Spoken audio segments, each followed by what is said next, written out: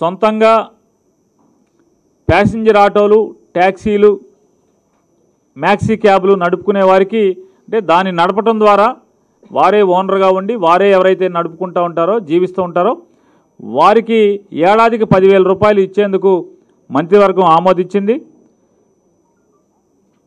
దీనిలో భార్య భర్త ఒక యూనిట్ గాను వారి కుటుంబంలో మేజర్ అయిన కొడుకు కానీ కూతురు కానీ ఇదే వృత్తిలో గనక అంటే ఆటో కానీ కారు కానీ మేజర్ అయ్యండి తోలుకుంటుంటే కనుక వారిని సపరేట్ యూనిట్గా చూడటం జరుగుతుంది. అంటే భార్యాభర్త కలిపి ఒక యూనిట్ వారి కొడుకులు కుమారుడు పెళ్ళి కాకపోయినా మేజర్ అయ్యింటే కనుక కూతురు కొడుకు కానీ కూతురు కానీ ఎవరు కానీ ఆటో వృత్తిగా లేకపోతే కారు డ్రైవర్గా సొంత కారు ఉండి డ్రైవింగ్ లైసెన్స్ ఉండి ఆ వృత్తి మీద జీవిస్తున్న వారికి ఈ పదివేల రూపాయలు లబ్ధి పొందడానికి అవకాశం ఉంది. ఇది ఇన్సూరెన్స్ కానీ ఫిట్నెస్ కానీ రిపేర్లకు కానీ ఆర్థిక సహాయం జగన్మోహన్ రెడ్డి గారు తన పాదయాత్రలో బా అప్పుడు ఇచ్చినటువంటి హామీ మేరకు ప్రభుత్వం నిర్ణయం చేయడం జరిగింది. దీనివలన ఈ నిర్ణయం కేబినెట్ నిర్ణయం వలన సుమారుగా నాలుగు వందల కోట్ల రూపాయల వ్యయం ద్వారా సుమారుగా నాలుగు లక్షల మందికి లబ్ధి చేకూరబోతుంది. ఒకవేళ ఇంకా ఇది మా దగ్గర ఉన్నటువంటి ప్రాథమిక సమాచారంతో ఈ వచ్చాం లేదు మేము ఆన్లైన్లో పదో తారీఖు నుంచి దరఖాస్తుల్ని అందుబాటులో ఉంచుతున్నాం. పదో తారీఖు ఈ నెల పదో తారీఖు సెప్టెంబర్ పదో తారీఖు నుంచి ఆన్లైన్లో దరఖాస్తులు లభ్య లభ్యమయ్యేలాగా చేస్తున్నాం. మా అంచనాల కన్నా మించి కనుక వస్తే ఎంతైనా కదా దాన్ని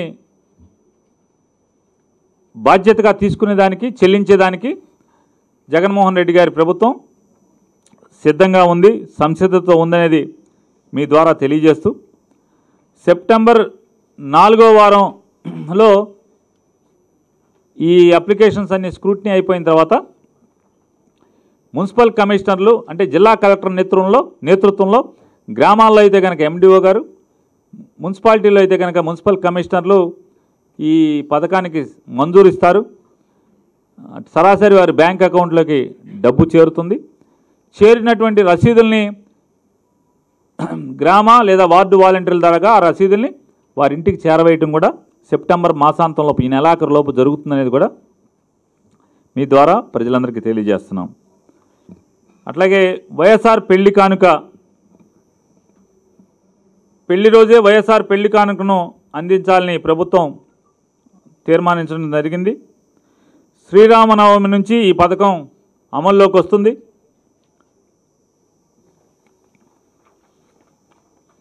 మొత్తం ఏడు వందల యాభై కోట్ల రూపాయలు ప్రభుత్వం ఈ పథకానికి కేటాయించడం జరిగింది.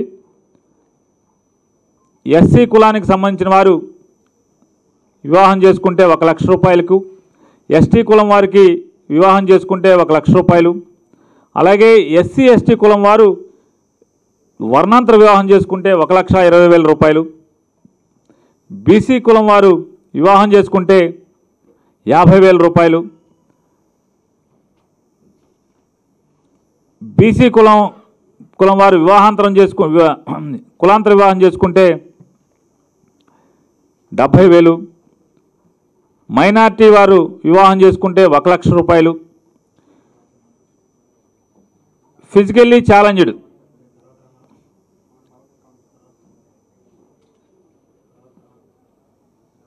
వికలాంగులకి వివాహం చేసుకుంటే ఎవరన్నా ఇద్దరిలో ఒకరు వివా- వికలాంగులు భార్యాభర్తల్లో ఒకరు కనుక పెళ్ళి కొడుకు పెళ్ళి కుమార్తెల్లో ఒకరు వికలాంగులు అయితే కనుక ఒక లక్ష యాభై వేల రూపాయలు. అలాగే భవన నిర్మాణ కార్మికుల యొక్క పిల్లలు కనుక మ్యారేజ్ చేసుకుంటే ఒక లక్ష రూపాయలు. ఈ ప్రభుత్వం ఇవ్వాలని తీర్మానం చేయడం జరిగింది. ఇది రాముడి కళ్యాణమైనటువంటి శ్రీరామనవమి రోజు నుంచి ఈ పెళ్ళి కానుకను జగన్ గారి ప్రభుత్వం అందించబోతోంది.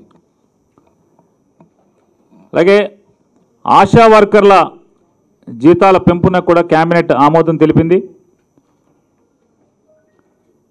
మూడు వేల రూపాయల నుంచి గౌరవ వేతనాన్ని పదివేల రూపాయలు పెంచుతూ ఆమోదిస్తూ ఈ వారాంతంలోపు ఆ డబ్బులన్నీ కూడా వారి అకౌంట్లో జమ చేయాలి అనే దానికి నిర్ణయించడం జరిగింది. ప్రస్తుతం డిఎం అండ్ హెచ్ఓలందరూ కూడా పదమూడు జిల్లాలోని మెడికల్ అండ్ హెల్త్ ఆఫీసర్లందరూ కూడా ఇవి డేటానందని కూడా ప్రభుత్వానికి అప్లోడ్ చేస్తున్నారు. ఈ అప్లోడ్ చేసిన కంప్లీట్ అయిపోగానే పూర్తవగానే గౌరవ వేతనం కింద పదివేల రూపాయలు జమ చేయటం జరుగుతుందనేది మీ ద్వారా వారందరికీ తెలియజేస్తూ. అలాగే గడచిన జనవరి మాసం నుంచి రెండు వేల పంతొమ్మిది జనవరి నుంచి కూడా ఎన్నికలు అయ్యేంత వరకు కూడా గడచిన ప్రభుత్వం ఆశా వర్కర్ల జీతాలు చెల్లించకుండా బకాయిలు పెట్టి వెళ్ళినటువంటి నూట ముప్పై రెండు కోట్ల రూపాయలని ఇప్పటికే ఈ ప్రభుత్వం విడుదల చేయడం జరిగింది. పాత బకాయిలను ఏదైతే గడిచిన ప్రభుత్వం వారికి ఎన్నో ఆశలు రేపి జీతాలు కూడా ఇవ్వకుండా వెళ్ళిపోయినటువంటి ఆ ప్రభుత్వం యొక్క బకాయిని కూడా జగన్ గారి ప్రభుత్వం నూట ముప్పై రెండు కోట్లను విడుదల చేసి చెల్లించడం జరిగింది. అలాగే ప్రత్యేక హోదా ఆంధ్రప్రదేశ్ రాష్ట్రానికి ప్రత్యేక హోదా తక్షణ అవసరం ప్రత్యేక హోదా మాత్రమే ఈ రాష్ట్రాన్ని గట్టెక్కించగలదు అనే నమ్మినటువంటి అనేక మంది యువత యువకులు ఎన్నో పోరాటాలు చేశారు. ఆ చేసిన పోరాటాలని అణగవే అణచివేయటం కోసం తెలుగుదేశం ప్రభుత్వం ఎన్నో కేసులు బనాయించ క్రిమినల్ కేసులు బనాయించడం జరిగింది. ఆ కేసులన్నీ కూడా ఉపసంహరించాలని చెప్పని ప్రత్యేక హోదా కోసం గడిచిన ఐదు సంవత్సరాల్లో చేసినటువంటి ఉద్యమాల్లో పాల్గొన్నటువంటి పోరాట యోధుల మీద పెట్టినటువంటి క్రిమినల్ కేసులన్నీ కూడా విత్డ్రా చేయాలని జగన్ గారి ప్రభుత్వం కేబినెట్ నిర్ణయం ఆమోదించడం జరిగింది.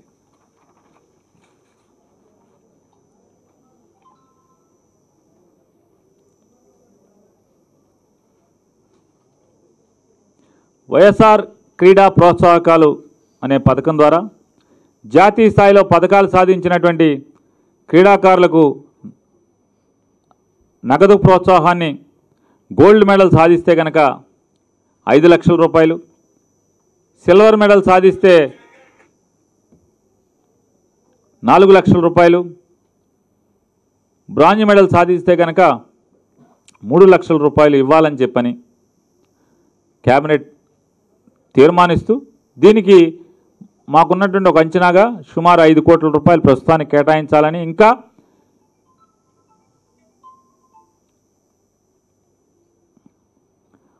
అలాగే గడిచిన ఐదు సంవత్సరాల్లో రెండు వేల పద్నాలుగు నుంచి పంతొమ్మిది వరకు తెలుగుదేశం ప్రభుత్వం మిగతా దేశంలోని మిగతా రాష్ట్రాలు చూసి మనని నవ్వుకునేలాగా.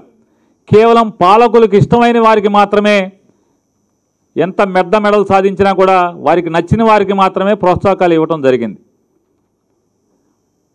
అటువంటి లోపాన్ని ఎవరైతే గత ప్రభుత్వంచే నిర్లక్ష్య నిర్లక్ష్యానికి గురి కా- గురి కాబడినటువంటి పథకాలు సాధించి కూడా రెండు వేల పద్నాలుగు నుంచి పంతొమ్మిది వరకు వారి క్యాపబిలిటీతో లే- వారికి ఉన్నటువంటి ప్రావీణ్యంతో దేశం గుర్తించేట్టుగా ఎన్నో మెడల్స్ సాధించినప్పటికీ కూడా ఆంధ్రప్రదేశ్ రాష్ట్రంతే రాష్ట్రంచే నిర్లక్ష్యానికి గురి కాబడినటువంటి క్రీడాకారులందరినీ కూడా మేము గుర్తించాలని నిర్ణయించాము క్యాబినెట్. దాని కొరకని చెప్పని అందరినీ కూడా అప్లికేషన్స్ కాల్ఫర్ చేశాం. ఎవరైతే పథకాలు సాధించి గత ప్రభుత్వం చేత గుర్తించగా అంటే నిర్లక్ష్యానికి గురి కాబడ్డారో వారందరినీ కూడా అప్లై చేయమన్నాం. వారందరికీ కూడా నగదు ప్రోత్సాహకాలను అందించాలని చెప్పని దాని కొరకు ఈ ఐదు కోట్లు అవసరమైతే ఐదు కోట్లు లేదా ఇంకా అదనంగా కూడా ఎంతైనా కూడా ఎంతమంది క్రీడాకారులు వస్తే అంతమందికి కూడా చెల్లించాలని ఈ కేబినెట్ నిర్ణయించింది. అట్లాగే వరల్డ్ బ్యాడ్మింటన్ ఛాంపియన్షిప్ ఛాంపియన్షిప్ సాధించినటువంటి సింధు గారికి ఆంధ్రప్రదేశ్ రాష్ట్ర కేబినెట్ అభినందిస్తూ తీర్మానించడమే కాకుండా భవిష్యత్తులో ఇంకా ఎన్నో విజయాలు సాధించాలని చెప్పని